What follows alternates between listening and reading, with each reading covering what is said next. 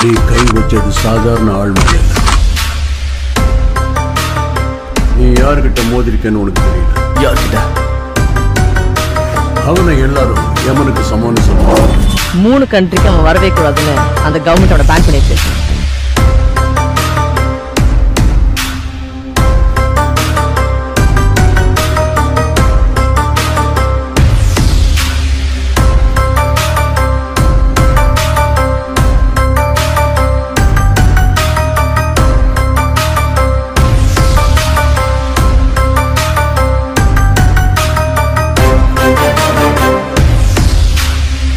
உங்களுக்கு அவங்க கிட்ட தெரியாது.